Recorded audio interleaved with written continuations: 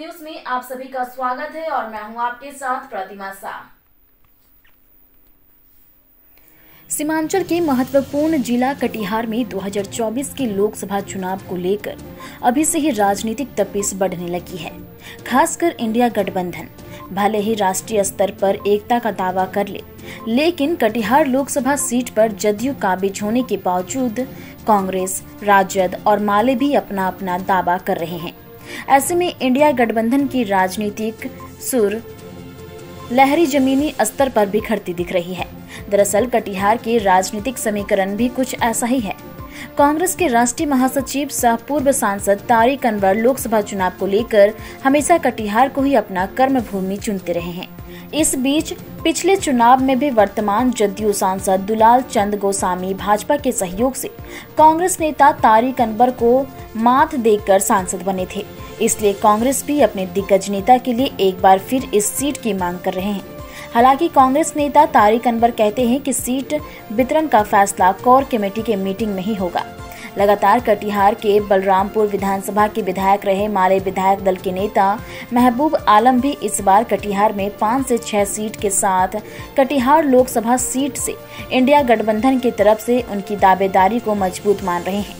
जबकि राजद के राज्यसभा सांसद अहमद असफाक करीम इस मामले में खुलकर तो कुछ नहीं कहते।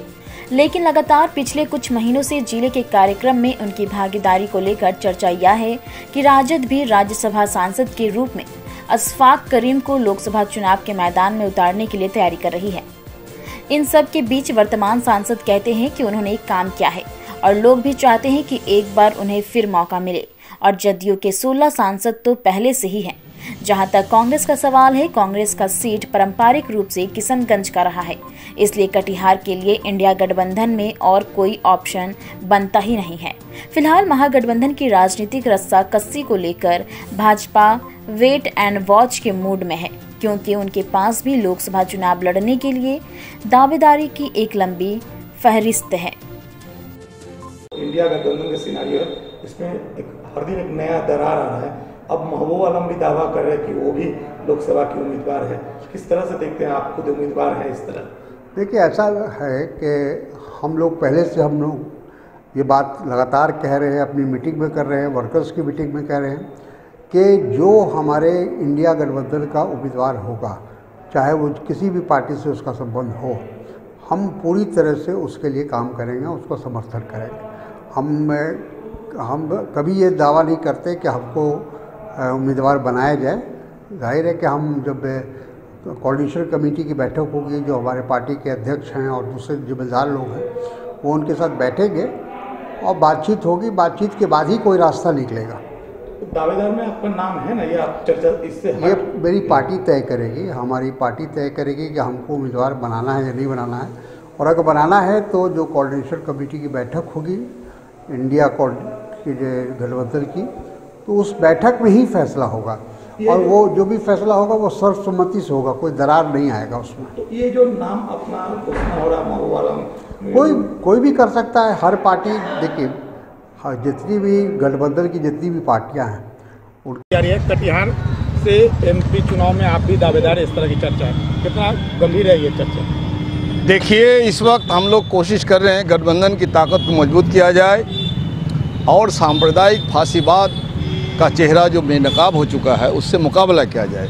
और उस मुकाबला में राजनीतिक तौर पर संसदीय मोर्चा में हमारी पार्टी कटिहार में एक मज़बूत पार्टी के रूप में खड़ी है। एक लंबे समय से, पिछले 40 साल से हम लोग यहाँ संघर्ष कर रहे हैं। गरीब मजदूर, किसान, आदिवासी, ज़मीन शिकमी बटाईदारी और जनवादी ताकतों की हिफाजत, पत्रकारिता की हिफाजत के लिए हम लोग लड़ते आ रहे हैं। इसलिए हमारा भी मज़बूत दावेदारी है कि ये सीट हम लोग को दिया जाए। कितना सीट पर दावेदारी है बिहार में आप लोग हमारी अभी पाँच सीट पर दावेदारी है। अच्छा हाल के दिनों में मुख्यमंत्री से भी आपकी एक गुप्त बैठक हुई है।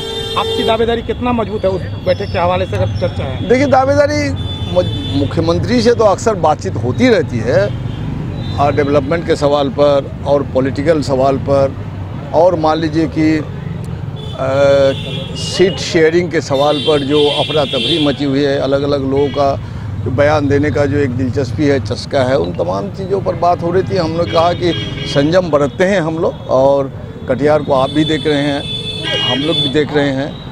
इस मद्देनज़र हम लोगों ने अपनी दा, दावेदारी जोरदार ढंग से पेश किया है। कांग्रेस से तारिक अनवर जैसे कद्दावर चेहरा दुलाल गोस्वामी ऑलरेडी एमपी है। आप उन लोग से कैसे कि और कटिहार में भी, कटिहार के लोगों में भी ये भाव, ये संदेश है कि कटिहार में अब तक जितने सांसद हुए उन उन लोगों को तीन तीन बार दो दो बार रेगुलर काम करने का मौका मिला है। अब देखते हैं हमको कैसा मौका मिलता है। हमारी पार्टी, हमारा नेता, कटिहार की जनता क्या सोच रही है? लेकिन मेरा एकमात्र लक्ष्य है कि मौका मिला है काम किए हैं कोरोना काल में काम किए मौका मिलेगा काम करेंगे और उसके सिवा हम बहुत कुछ नहीं जानते। सबसे एक चीज़ है इंडिया गठबंधन दावे तो बड़ा बड़ा करें। कहीं सुरताल बिखर रहा है तारिक अनवर का भी दावा है महू आलम का दावा आ रहा है राजद भी अपना दावा पे तो कहीं ना कहीं इस पर कुछ कंफ्यूजन तो अच्छा राजनीति में दावा नहीं करेंगे तो राजनीति मज़बूत कैसे होगा? आपका दावा हमारे हमारे जितने भी गठबंधन के लोग हैं पार्टी है सब पार्टी मज़बूत है एक रूपता से है वो लोग दावा कर रहे हैं और दावा करना ही चाहिए। दावा क्या हवा किसके पक्ष में? आपके पक्ष में है ना इस लेकिन हम ये कह रहे हैं कि ये सीट माननीय नीतीश कुमार जी का है हम लोग का विनिंग सीट है और जिस तरह से किशनगंज सीट कांग्रेस का है तो सब लोगों का मन में है कि कांग्रेस का एक सीटिंग सीट है तो वो सीट कांग्रेस के पास जाना चाहिए। अगर किशनगंज में ये भाव है तो कटिहार देश दुनिया की खबरों से अपडेट रहने के लिए देखते रहिए स्ट्रीट बस। यदि आपने हमारे चैनल को सब्सक्राइब नहीं किया है तो आज ही सब्सक्राइब करें। धन्यवाद।